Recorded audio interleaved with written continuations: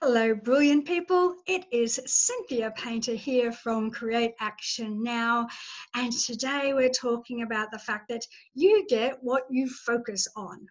So, quite often we go through life wanting one result but getting another.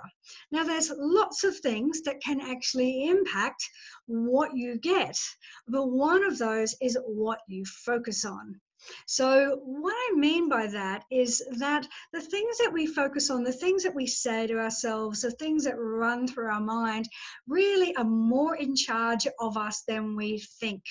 We might sit there and go, I really want to be able to achieve that over there. I want that car. I want that life. I want that weight. I want that success in my business or in my life but we end up sabotaging or undoing it all. And that is because of what we focus on.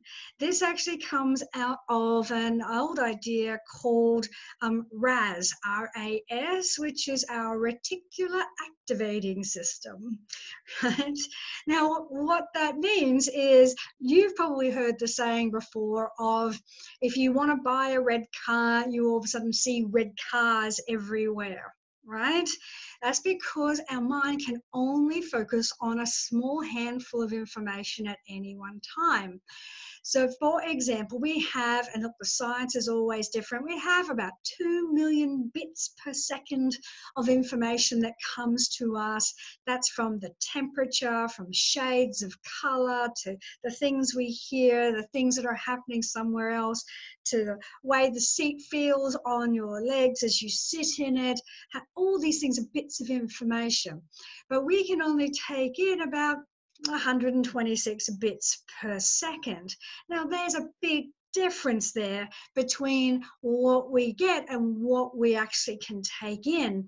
And what happens is that our mind is, I like the analogy of like a telescope, right? Where we might be able to, if we look around, we can see this much, but we look through a telescope and we can only see this much.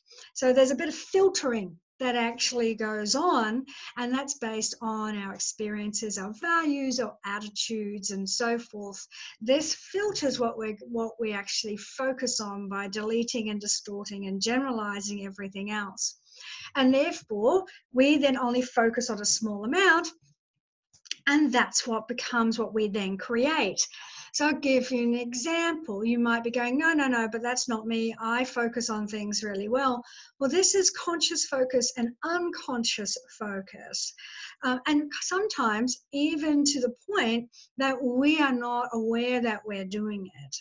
So, have you ever had someone come up and give you a compliment and you've sat there and gone, oh, no, no, but I actually did something, you know, I did all these things wrong. Didn't you notice I did all these things wrong? right? And they're going, but no, no, you did these things right. No, no, no, I'm no good at public speaking, selling, whatever it happens to be, right? Because we get what they focus on. So our results are limited. Um, now, other people might be able to see a better result, quite often we are limited on what we actually output because of that. So you might say, look, I'm not a great public speaker, or I'm not, I'm really big procrastinator. Like I'm, I've had people tell me they are the best procrastinators in the world. Well, when you focus on that, you are going to disregard anything to the contrary, right? Otherwise, you'd be living in conflict internally.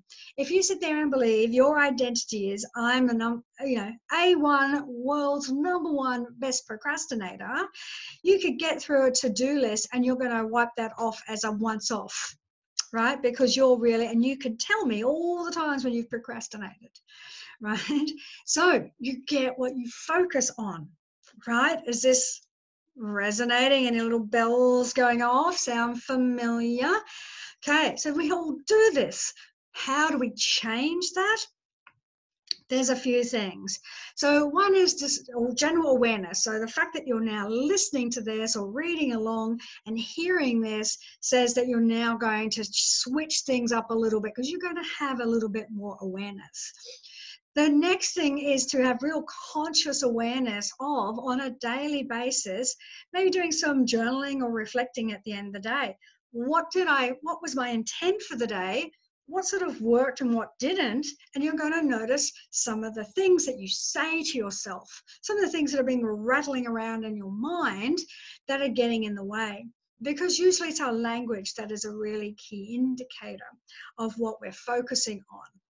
Um, particularly if you say big definitive things like I'll never, I always, everyone thinks?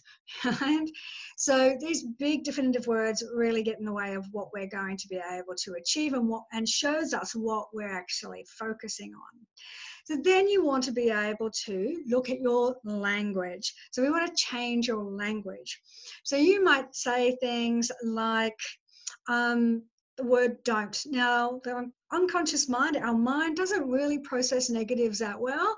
So if you say to a kid, don't run, whatever you do, don't run, what do they do? They run. Great idea, mum. Putting that in my head.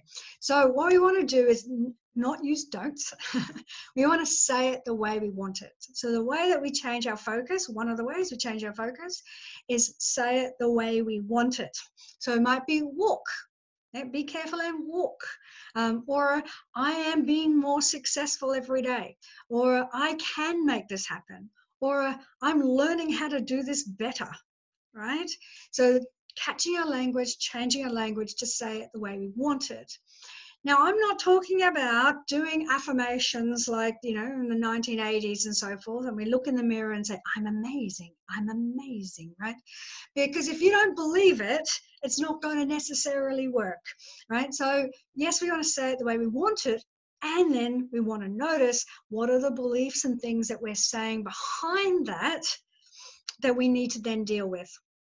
So, you might notice that as you're saying that, it's like, oh, no, no, no. Everyone realizes that you're no good at what you're doing, or I'm just an imposter, or I'm not good enough, or I'm not worthy, or all these little things that might be nattering away in the background. You want to grab that stuff. You want to notice that stuff.